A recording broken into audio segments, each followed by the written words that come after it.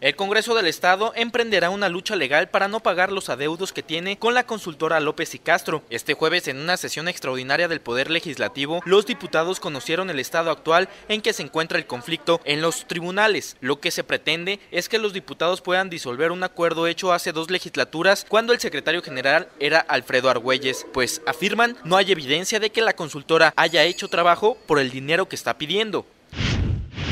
¿Ustedes tienen evidencia de que no se trabajó por ese dinero?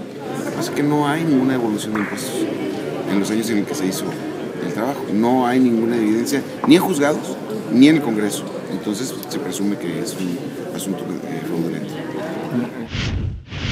El diputado presidente del Congreso, Enrique Velázquez, confirmó que el adeudo no es de 58 millones de pesos, sino que podría alcanzar los 80 millones si se considera que desde hace más de cuatro años no se paga el 5% de interés mensual que está contemplado en el contrato. Además, en la sesión extraordinaria entró a primera lectura la conocida como Ley Anticochinos, que busca regular y prohibir los laudos en las administraciones locales. UDG Noticias, Omar García.